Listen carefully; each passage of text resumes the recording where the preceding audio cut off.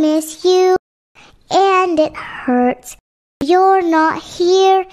It's the worst.